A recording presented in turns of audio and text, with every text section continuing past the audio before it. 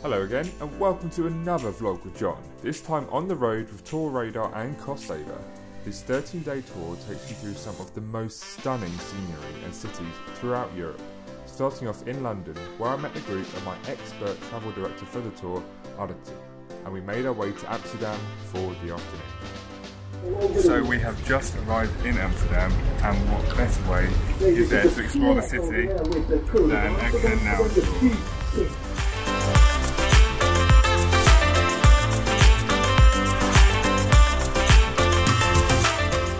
Canal Tour took us through to the evening, after which we had the opportunity to explore the city ourselves. Following morning, we rode on the coach through the beautiful Dutch countryside where we made it to our first stop of the day, Edam. So we have a full day in the Netherlands today, um, specifically in Amsterdam and around Edam. Now we have come here to Edam to see local cheese being made um, and clogs, which are both very, very traditional uh, to the Dutch people. Um, this is a local local family-run business, um, and they're teaching us how they make the cheese and carve the clogs, uh, which is really, really cool insight into into what they do. And just uh, they have to be comfortable. And if there is a spot in the shoe that isn't nice, just grab a little bit of sandpaper, sandpaper it out, and it should be fine.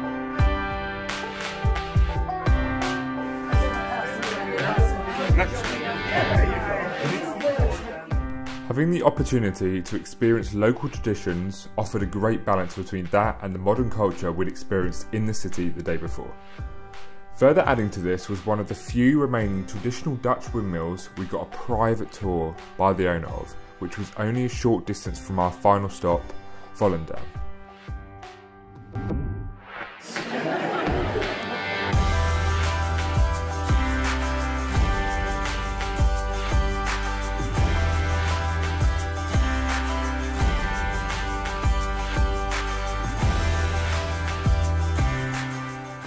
We've just arrived in Volendam, which looks more like the Caribbean than the Netherlands. It's absolutely incredible. The water is crystal clear and I'm on a white sand beach. What is that about? Who knew that this was in the Netherlands? It's absolutely crazy. But we have just over an hour here to spend around this lovely, amazing looking fishing village. We're going to grab some traditional food, um, have a look around some of the shops and stuff here, um, and then we're going to head back into Amsterdam Centre later. Boom, just coming outside the Flying Dutchman. Apparently, it's the best place to eat some seafood. So I've ordered a gastronomic delight. Check it out. Ooh. After finishing some of the most delicious seafood I've ever eaten, we headed back towards Amsterdam. We had even more free time in the afternoon in Amsterdam to see more of the city if we wanted. The next day, the group was in great spirits after we'd had our included breakfast as we made our way to Frankfurt for the night. But first stop, Cologne. Down that main avenue, on the right side of that store, is where you'll find shops, restaurants, and cafes. Use this opportunity to have something to eat. Uh, we will have another chance in two hours' time when we go on the cruise. Okay. A whirlwind stop in Cologne was followed by a very relaxed afternoon in the Rhine Valley. Wow, what an insanely beautiful place. We cruised down the serene Rhine River, taking in all the sights, where we disembarked in St. Goar, where Aditi had a surprise for us. Did you enjoy the cruise? Oh, yes. Good. Lots of photos. Yes. Pinkish glow. No. Yes. So we have just finished the most relaxing boat ride in the world along the Rhine Valley and now we are in St. Goar. Check it out. So as a special surprise for all of you, from myself, Alice, and Costsaver, we want you to sample a little local treat of ice vine. And you'll get to keep the little souvenir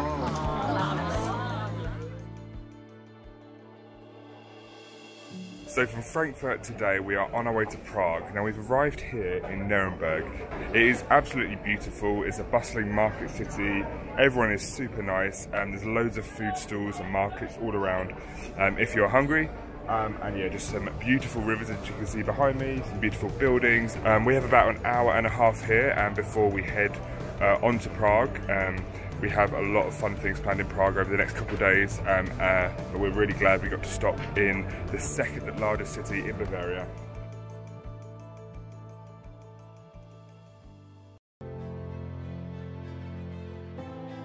So what a beautiful evening here in Prague. We've just been dropped at the centre. I mean, you can just be able to see behind me. The guys are getting onto the boat for their river cruise for the evening. Um, and we're going to have a lovely dinner cruising down the centre of Prague on that amazing boat. How was the goulash? Oh, delicious, very good. There we go. Pork it was knuckle, delicious. The pork knuckle is good. Oh, and the pork knuckle as well. It's good. All right, all right. I'm going to take his word for it. Sounds super, super stoked. Dumpling, pork knuckle, fried cheese, potato, goulash, Especially the cracking. and the crackling, nice, and sauerkraut.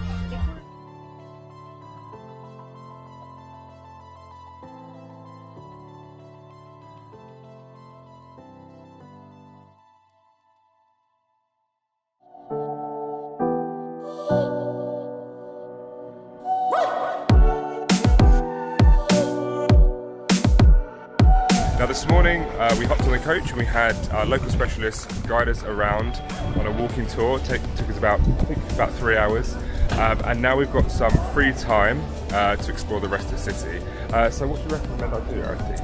Well, what I recommend you do is maybe we can visit the John Lennon Wall this morning uh, and just write, you know, maybe a few things on the wall, a remnant of our visit in Prague. Uh, then you can work up an appetite and head towards this local butcher that makes the most amazing burgers fresh off the hot plate. And then I think by then we might have or might be keen for a little bit of a sweet, uh, maybe a sweet tooth item. So maybe we can try trdelník uh, and fill it with some cream and strawberries. Okay, I'm sold on all of those things. Amazing.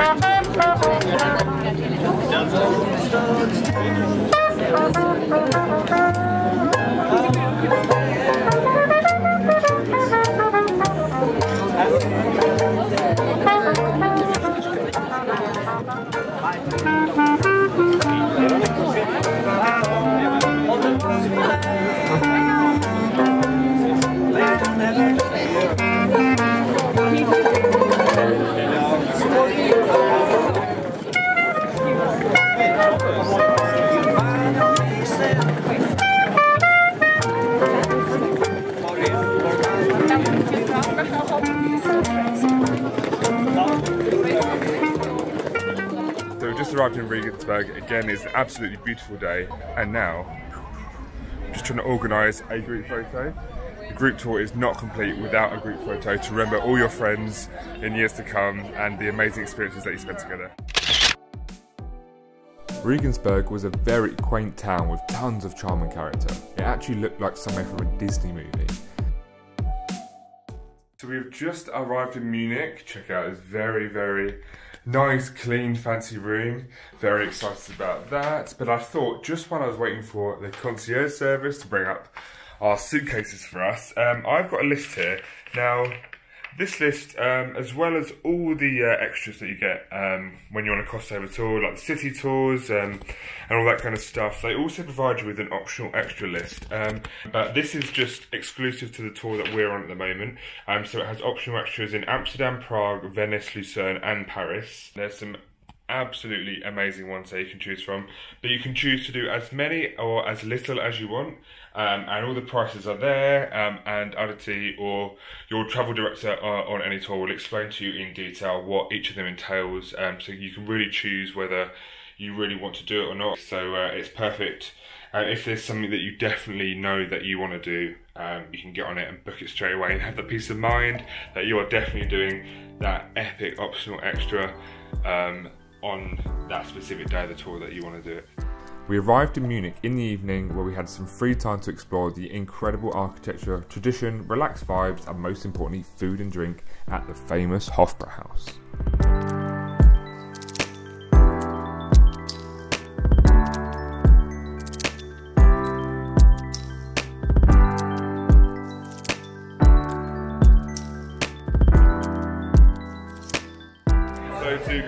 An amazing day around Munich, we have uh, zwei Mass beers. Thank you, Rati, for showing me around today. Oh, that was a hefty snap.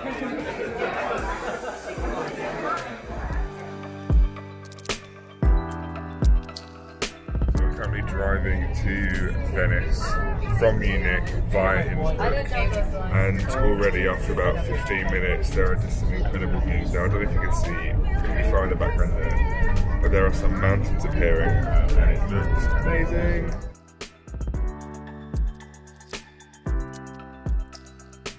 Being able to explore such a unique part of the world, the Alps, where the mountains meet the towns and rivers in such a beautiful way, was incredible. But it was soon time to head toward our final destination of the day, Venice. So from the amazing historic town of Munich in Germany through the mountains in Austria of Innsbruck, we are now here in Venice. We are about to head into Venice Old Town Centre via private water taxi. Captain LT. Hi. Come on, taxi number three.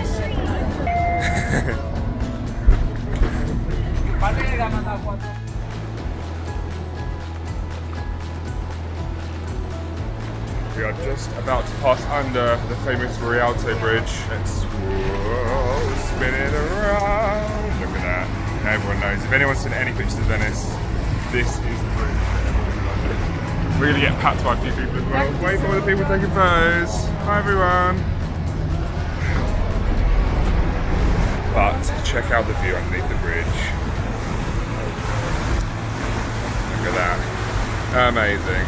Absolutely amazing.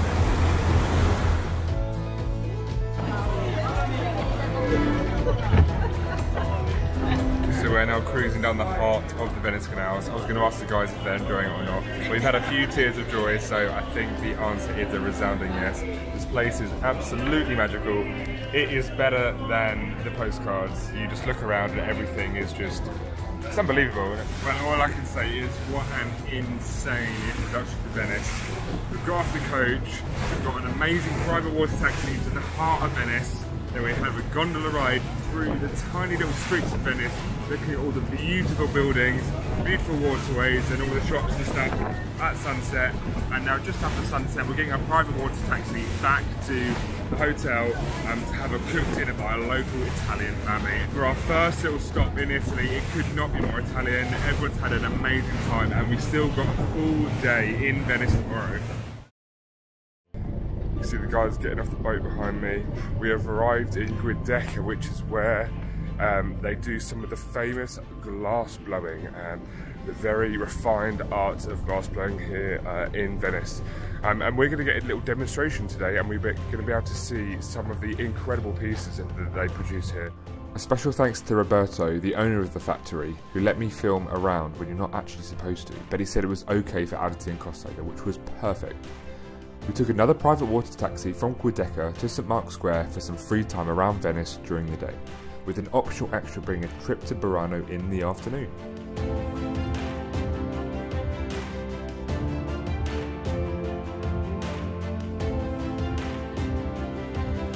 So I'm in the heart of Burano at the moment. Everywhere you look it's just bursting with insane colour. With its incredibly colourful traditional fishing houses, its famous 17th century leaning bell tower, and much more chilled vibe in the centre of Venice, for me, Burano was a must-do optional extra. So on our last night in Venice, I made it to the Rialto Bridge for sunset, just about. The sun is sitting behind me, and I'm gonna chill at the top and watch the amazing views for a while. Venice certainly pulled out all the stops for us on our last night in Italy. And when we thought we'd seen the most beautiful destinations in Europe, we arrived in Switzerland the next day. And, well. hey, so off we go. Now we've got a pretty ridiculous view right now. Let's just spin it around. We've got the uh, other guys going behind us, but I'm facing backwards. So just to give you an idea. Boom. Check that out. Wow. Hitting the ground running in Switzerland, we had the opportunity to hop on an optional extra and take a stunning horse and carriage ride through the breathtaking Swiss Alps.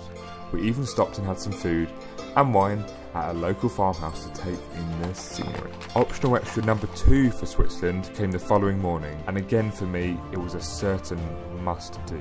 So we are on top of Mount Stanserhorn It's so quiet, peaceful up here. Everyone is enjoying taking pictures on all the lookouts around here.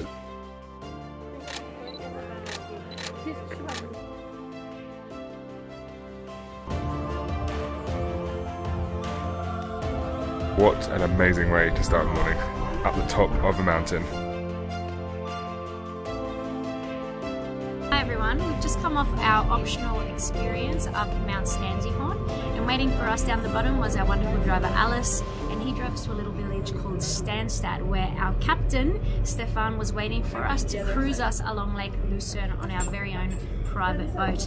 In the backdrop we have uh, Mount Pilatus and now we are heading to the historical centre of Lucerne where we're going to have a cheese fondue lunch. Sounds delicious to me, how about you? Mm, my mouth is watering just you talking about that. All right, let's go get some fondue.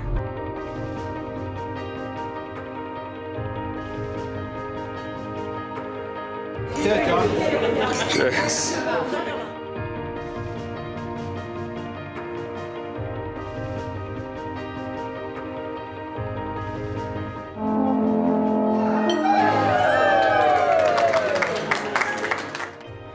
So, good afternoon. First check-in of the day in our last city of the tour, sadly. Oh. We've left Switzerland, we left Lucerne this morning. Uh, we've driven through the beautiful Swiss Alps, through the lovely French countryside, and now we've arrived here in Paris in the afternoon. So we made it into the centre of Paris. It is currently sunset. We've been dropped off by the coach on the Champs Elysees outside. Dun, dun. The Arc de Triomphe. At sunset, it looks absolutely amazing. Check it out! In the evening, after some free time around the Arc de Triomphe, we hopped on an evening boat tour through the heart of Paris on the Seine River, finishing up at Les Eiffel Tower, which put on a bit of a show for us.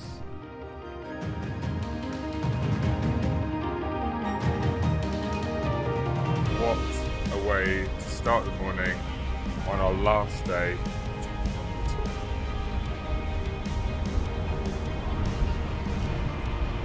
The Eiffel Tower at sunrise. I really hope you enjoyed this vlog as much as I loved the tour. I tried to give you a small insight into the awesome experiences there are to be had with TourRadar and Costsaver. I'll put some links to the tour in the description below, so be sure to check it out. Alternatively, be sure to check out the TourRadar website for even more travel inspiration. Don't fear, I've got plenty more adventures in the pipeline, so be sure to subscribe to the TourRadar YouTube channel. There's some extra wanderlust.